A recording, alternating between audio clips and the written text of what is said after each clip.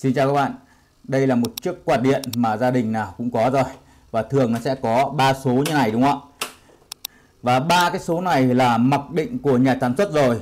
Tuy nhiên khi mà chúng ta bật một trong ba số này cái lưu lượng gió nó cũng khá mạnh. Trong khi đấy bây giờ đang là cái thời tiết giao mùa ở miền Bắc này.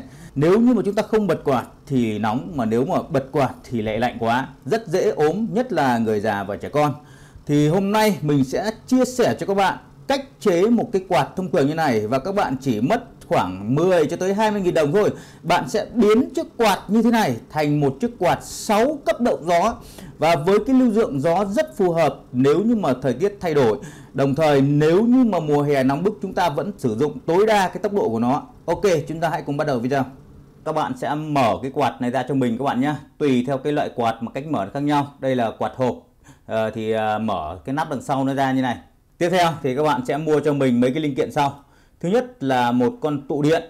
Thì các bạn à, nên dùng cái loại 2 microfarad hoặc 1,5 cũng được nếu như các bạn muốn chạy chậm hơn. Còn muốn chạy nhanh hơn thì các bạn sẽ dùng cái điện dung của nó cao hơn. Nhưng mà thông thường các cái quạt gia đình thì chúng ta dùng 2 microfarad là được rồi.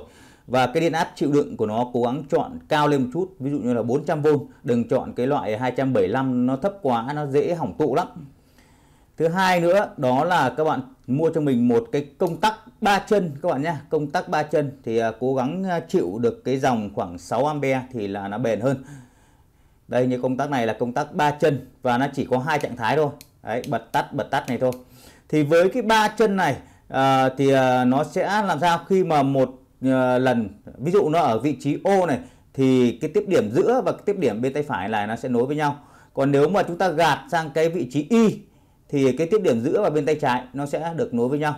Thì các bạn lưu ý mua cho mình cái công tắc ba chân như này và không có đèn các bạn nhá. Bởi vì nếu như các bạn mua cái loại có đèn thì nó cũng có ba chân. Đây, ví dụ như này. Đây là có có đèn này. Nó cũng có ba chân như này. Nhưng mà ba chân này thì nó lấy một cái chân dùng để cấp điện cho cái bóng đèn bên trong. Nên là chúng ta không dùng được cái công tắc này, mà chúng ta cần phải dùng cái công tắc này. Các bạn cũng có thể là mua cái loại công tắc à, ba trạng thái. Cái này là hai trạng thái này, cái này là ba trạng thái này có nghĩa là uh, y này thì là giữa nối với bên tay trái này o này. Đấy thì là giữa nối bên tay phải này còn đặt ở vị trí giữa này thì là giữa nó không nối với bên nào. À, nhưng mà mình khuyên các bạn là dùng cái loại này thì nó sẽ tốt hơn bởi vì mình chỉ cần bật à, số to số nhỏ thì cần hai trạng thái này thôi nhưng mà đúng ba chân như này. Và mình mua thêm cho mình à, một cái con điện trở này nữa nhá. Điện trở thì các bạn mua loại 400 kg đến một mê là được rồi thì tất cả ba cái linh kiện này thì giá thành nó chỉ dao động khoảng 10 cho tới 20 nghìn thôi.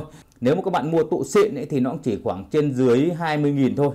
Nên là giá thành nó cũng khá rẻ thôi. Thì đối với cái quạt thông thường uh, trong gia đình thì ờ, thông thường nó sẽ hay dùng cái công tắc cơ như thế này các bạn nhé. Và mỗi cái quạt thông thường nó sẽ có 3 số số 1 số 2 số 3 tương ứng với ba cái dây như này. Và một cái dây thứ tư nó là cái dây để bấm đảo gió thôi và trong đấy thì nó sẽ có một cái dây chung. Các bạn nhìn thấy cái dây chung là cái dây phía dưới này. Và khi mà chúng ta bấm số 1 thì cái dây chung này nó sẽ truyền điện tới số 1 bấm số 2 dây chung truyền điện số 2 và tương tự số 3 cũng vậy. Và kể cả những cái đảo gió này cũng vậy. Bấm đảo gió thì dây chung nó sẽ truyền tới cái đảo gió. Và chúng ta sẽ quan tâm tới cái dây chung như thế này. Và bây giờ chúng ta sẽ trích cái dây chung này ra. Đấy, trích cái dây chung ra và mình sẽ đấu này còn đối với cái quạt mà điều khiển bằng cái mạch điện tử thì mình sẽ chia sẻ sau bởi vì thông thường quạt gia đình chúng ta hay dùng công tắc cơ nhiều hơn.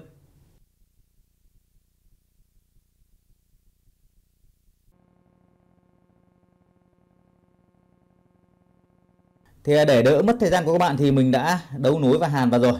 Thì à, bây giờ mình sẽ phân tích lại cho các bạn để các bạn hình dung ra cái sơ đồ đấu nối này. Đối với bất kỳ một cái quạt nào, các bạn không cần quan tâm tới cái dây rợ là ngoằng ở chỗ khác. Các bạn chỉ cần quan tâm tới cái công tắc cơ này thôi. Và như lúc đầu mình đã nói là chúng ta sẽ quan tâm tới cái dây chung của cái công tắc cơ này. Và các bạn sẽ ngắt cái dây chung này ra. Thì đây đây chính là cái dây chung mà lúc trước đấu vào công tắc cơ. Sau đó là cái dây chung này mình sẽ đấu một đầu vào bên tay trái của cái công tắc hai trạng thái này. Đây, bên tay trái đây. Đồng thời, cái dây của tụ này cũng sẽ được đấu vào một cái chân ở bên tay trái của cái công tắc này.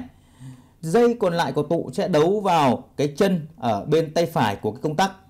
Và cái con điện trở 470k mình sẽ đấu vào chân phải và chân trái của cái công tắc. có nghĩa là cái con điện trở này sẽ được đấu song song với con tụ này các bạn nhé thì cái mục đích của con điện trở này là nó để xả áp cho con tụ này thôi, để tránh trường hợp khi mà các bạn à, dùng, các bạn rút điện ra thì các bạn sờ vào hai cái phích cắm này nó sẽ không gây giật cho chúng ta còn cái chân giữa của cái công tắc hai trạng thái này nó sẽ được đấu đây cái chân giữa đây các bạn nhìn thấy nó sẽ được đấu về cái chân chung chân chung chân chung của cái công tắc cơ này. Đấy thì đấy là cái sơ đồ đấu. Thì cái sơ đồ đấu này nó sẽ hoạt động như sau. Khi mà các bạn bấm cái công tắc này chuyển về chữ O thì lập tức cái điện áp 220 nó sẽ phải nối tiếp thông qua con tụ này. Nó mới cấp cho các cái số 1, số 2, số 3 của cái động cơ quạt và khi mà nó đi qua con tụ này thì điện áp nó được hạ áp dẫn đến quạt nó sẽ chạy chậm hơn còn khi mà chúng ta chuyển cái công tắc cơ này sang số Y chữ Y này thì lúc này điện áp 220 nó sẽ đi thẳng trực tiếp vào số 1, số 2, số 3 mà nó không cần qua con tụ này nữa. Như vậy nó sẽ quay với cái tốc độ tối đa như nhà sản xuất đã thiết kế. Như vậy với cái cách đấu như thế này các bạn đã biến một cái quạt thông thường 3 cấp độ gió thành một cái quạt 6 cấp độ gió rất phù hợp cho gia đình, nhất là gia đình có người già và người trẻ trong cái lúc mà thời tiết nó thay đổi. Còn à, đối với quạt mà nó có điều khiển từ xa, có nghĩa là nó không dùng cái công tắc cơ này mà nó dùng một cái mạch điện tử nó điều khiển thì à, các bạn chỉ cần quan tâm tới các cái số của cái cuộn dây này thôi. Thì thông thường quạt nào nó cũng sẽ đều có số 1, số 2, số 3 và có một cái dây gọi là cái dây chung đấy cái dây là dây chung còn cái dây liên tụ thì mình không cần quan tâm các bạn nhé các bạn chỉ cần tìm được cái dây số 1 số 2 số 3 và cái dây chung là dây com thì các bạn sẽ ngắt cái dây com này ra này đấy ngắt cái dây com này ra và các bạn sẽ đấu thông qua cái bộ mạch như nãy cũng giống như cái việc mà các bạn ngắt cái dây com ở cái công tắc cơ này ra các bạn đấu đúng như thế thì cái dây com là cái dây này có nghĩa là cái công tắc cơ thì cái tụ này nó sẽ đi vào số 1 số 2 số 3 nhưng đối với cái mạch điều khiển à, điện tử như này thì cái tụ nó sẽ được nối tiếp thông qua cái dây com mà nó không đi qua cái dây số 1, số 2, số 3 nữa. Sau khi mà lắp đặt xong này thì các bạn nhìn thấy là nó cũng khá thẩm mỹ luôn. Nó chỉ có mỗi một cái công tắc chuyển này thôi, rất chi là nhỏ gọn luôn. Rồi bây giờ mình sẽ test cho các bạn nhé. Đầu tiên mình sẽ để ở cái chế độ là tốc độ cao, tức là chế độ mặc định của nhà sản xuất. Rồi mình sẽ bật từ số 3, số 2, số 1 nhé. Và chúng ta sẽ xem xem về cái tốc độ của cái này à, nó như thế nào. Bây giờ mình sẽ dùng một cái đồng hồ đo tốc độ nhé bây giờ mình sẽ bật số 3 này Đấy, số 3. Số 3 đang là 1158 1158 à, vòng 1 phút này. Bây giờ bật số 2 này. Số 2 thì đang là 1084. Bây giờ số 1 nha. Số 1 Số 1 đang là 962 vòng. Rồi, bây giờ mình sẽ chuyển cái công tắc này xuống về cái chế độ không này, Là cái chế độ chạy đợt chậm. Sau đó là mình sẽ bật ngược lại số 3 này. Số 3 này. Số 3 xem là bao nhiêu vòng một phút nhá. Số 3 thì các bạn nhìn thấy là 740 vòng một phút nhá. Bây giờ số 2 này.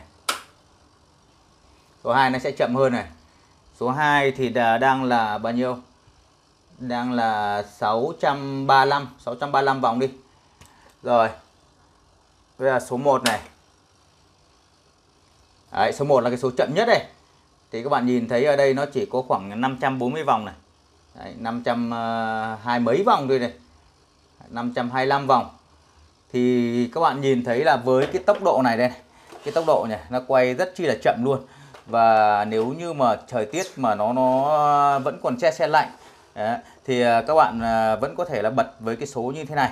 Để làm sao? Để nó vẫn đảm bảo mát cho chúng ta nhưng mà nó cũng không quá lạnh quá thì các bạn cũng lưu ý là với cái tốc độ như thế này này nó vẫn chạy được như thế này thì à, nó sẽ không ảnh hưởng quá nhiều tới động cơ. Các bạn đừng chọn về cái tụ cái điện dung nó thấp quá cái điện dung của tụ mà các bạn nó chọn thấp quá ví dụ như là một mi trở xuống ấy, thì nó chạy quá chậm thì chạy quá chậm như thế thì à, nhiều khi là nó sẽ à, làm cho cái à, động cơ nó nóng lên. Thì các bạn không nên và các bạn chọn từ 1,5 cho tới 2 mi đối với quạt gia đình là ok rồi. Như cái này là mình chọn 2 mi. Ok cảm ơn các bạn đã theo dõi video của mình. Hẹn gặp lại các bạn trong các video sau.